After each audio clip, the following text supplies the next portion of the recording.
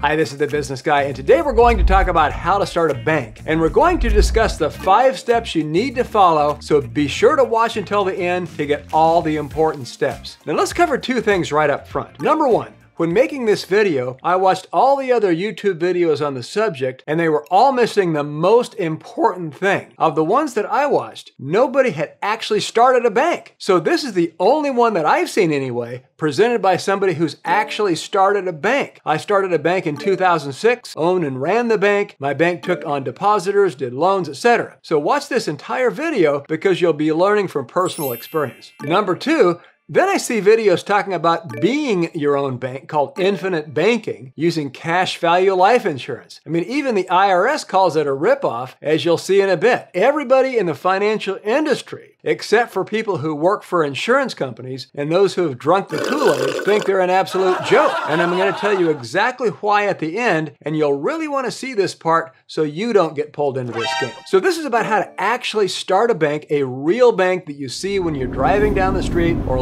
online. And if you appreciate this straightforward information presented by somebody with experience, please click the like button below so YouTube promotes it. And you can also click the subscribe button and notification bell below if you haven't already so that when more videos come out like this one, you'll be up to date right away. Now, here's the good news. Though it's expensive to start a bank, the startup cost does not need to be your money. You can raise the money after you form your corporation. So none of the cost to start the bank needs to come out of your own pocket. More about this in a bit. If you look at the Small Business Administration statistics, 100 businesses start, and after five years, 80% of them are out of business. 96% are out of business after 10 years. But with banks, 97% of them are still in business after 10 years. Why? The banking business is one of the most profitable in the world. You have have depositors on one hand depositing money into your institution, and then on the other hand, you charge bank fees and you can lend out certain portions of that money to earn interest. And here's some examples. We did a lot of property development loans to builders, and these are short term loans where you can charge a lot higher interest rates. So this was an undeveloped lot at first. So as the development progressed, we did loan draws until it was complete. Here's another house in the country. We did a loan on this house from the ground up. And here's a loan we we did to build this house in the city. Now, this next one is a big, beautiful home on the lake. This was just dirt on the lake before we started. Now, in this one, we foreclosed on this property, finished the construction, and sold the house. Now, there are many more loans that we did, but on this one, the builder stopped paying the loan. We stressed out about this one. Look at this big, beautiful house. So we hired a foreclosure company to foreclose on the loan and take possession of the property. And this beautiful house in Washington State, so you can see Mount Rainier in the background, we finished the construction and sold it. And and made, as I recall, $200,000 on it. So here's how we did it. We paid about 3% interest on the savings accounts at the time. And then we charged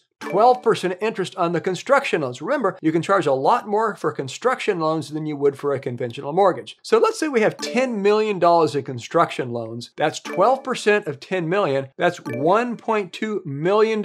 And then there's $300,000 in interest expense that we paid to the depositors. That's $900,000 in interest plus the $200,000 we made on the foreclosure. So that's $1.1 million in gross profit. See how that works? Now, this doesn't even include the monthly fees, charges on the deposit accounts, and the loan origination fees. Then the excess cash that wasn't loaned out is deposited in bank to bank loans and government bonds for another, say, $350,000 a year. But it gets better than that. With fractional reserve banking, if you have $10 million in deposits, the US government lets you borrow money from the Fed and loan out, let's say, $100 million.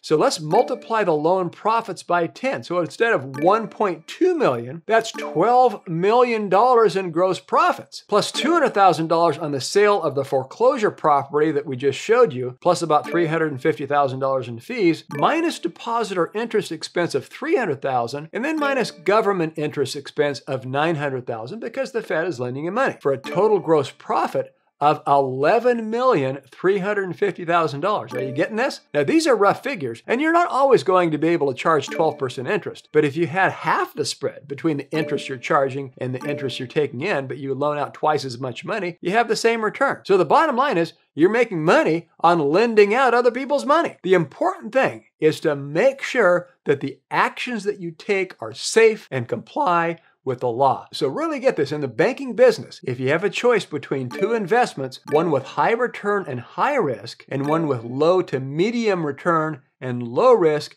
you choose the low risk option. Now, the world's richest investor, Warren Buffett, owns a large percentage of Wells Fargo Bank. And he says the reason most people lose money is they want to earn money quickly. And he says the one thing is, I don't know how to do it. Everybody wants to earn money quickly, but I'm satisfied earning it slowly. And if one of the world's wealthiest men say that, for somebody who seeks to be wealthy, the principle of earning money slowly, safely, and steadily is something that we can all take to heart, especially in the banking business. Okay, so what do you do to start a bank? The first step is to choose your jurisdiction. Now, to form a U.S. bank, you need about 15 to 30 million dollars in capital to get started. Now, that's not an expense, that is your cushion that you need to deposit so that you have something to fall back on during the ebbs and flows of profitability. In many other countries, however, you need only 500,000 or a million. Again, and that's for money that you raise from others if you need it, not necessarily out of your own pocket. Now, some of the recommended jurisdictions in which to form a bank, as of this recording, is the country of Dominica, where a bank needs $1 million of capitalization. Now, here's me and the Prime Minister of Dominica when I met him in his office talking about starting a new bank in his country. In St. Vincent, you only need $500,000 of capitalization as of the current regulations for a Class B bank, and a Class A banking license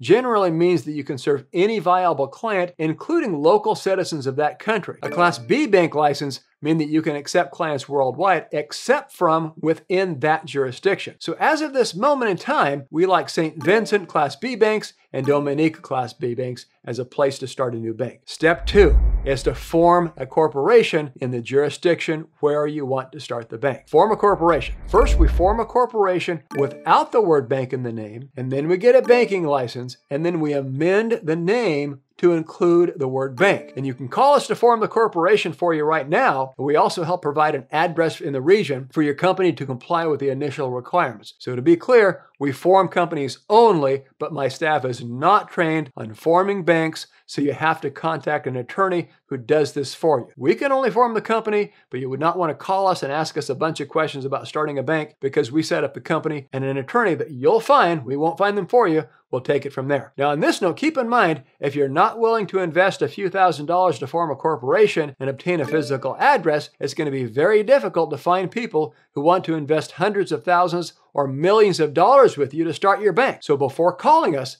at least be prepared to form your corporation because that is the minimum first step. So for the rest of the process, you need to get a lawyer who can get the banking license for the corporation that we've established for you. Step number three is to complete the banking application and provide your due diligence. The banking industry deals with other people's money, so it is very highly regulated. You'll need to be transparent and provide full documented proof of your identity. The regulators will run a full background check on you to make sure that you have a clean track record. And it is also recommended that you have people on your board of directors who have banking experience. Now, the cost for the license fee and the legal fees are going to be over $100,000. Again, this does not have to come out of your pocket, but out of the pockets of your investors. Step four is an optional step. If you already have sufficient capital, you will provide proof of funds by proving that you have liquid, that is liquid capital, that you have access to immediately. If it is not immediately liquid on the day that you apply or soon thereafter, it doesn't count. If not, you'll need to raise capital from investors. Investors will pool their money together to provide you with sufficient cushion to acquire your banking license. Step five is that you find a location to start your bank along with local personnel to help you operate it. Usually you need at least two or more local employees to meet the regulations. Again, the attorneys may help you find your location as well as your initial employees. Now we often get the question, will you help us find investors? And the answer is after we set up the company for you, you will hire an attorney who can point you in the right direction to the pool of investors. It's not what we do, it's what the attorneys do. So that's how to start a legal, legitimate, bona fide bank. Now back to the infinite banking life insurance be your own bank scam. This is where an insurance salesman sells you a life insurance policy and then tells you a lie that using the cash value portion is like owning your own bank. In the IRS language, they call the interest they pay you, and I quote the IRS verbatim, a refund of a deliberate overcharge. So they charge you too much, and then they give you part of that money back to you, and they call it tax free interest. Of course, it's tax free, it's just giving your own money back to you that you overpaid to them in the first place. So please don't fall for that. Cash value life insurance is the biggest ripoff in America unless you're the life insurance salesman or unless you got sucked into the life insurance company's line of bull. I mean, you watch some video where some guy only talks about the good and leaves out the obvious bad, and then they talk in this giddy, excited tone, they may be able to convince people that don't dig too deeply. But if you back up and take a helicopter look at the whole thing, you'll see it gives the worst returns and it forces you to borrow your own money and then pay the insurance company interest for borrowing your own money. And then when you die, the cash value dies with you. It goes to the insurance company, not to your heirs. It's extremely expensive compared to term life insurance and it's packed with fees during your lifetime. Besides, it's not telling you the truth. It's buying a life insurance policy and calling it becoming your own bank. So please don't be brainwashed by some silver tongued devil who's trying to get their hands into your pocket and fast talk you into this nonsense. So write your comments below and tell me what you think and help me fight off the insurance company salesman who I'm sure will be spreading all kinds of nonsense in the comment section. So back to the real world. Now, if I don't answer this question, I'm going to get bombarded with questions in the comment section. What happened to your bank? Well, I started the bank in the summer of 2006. When I started the bank, money was coming out of everybody's ears.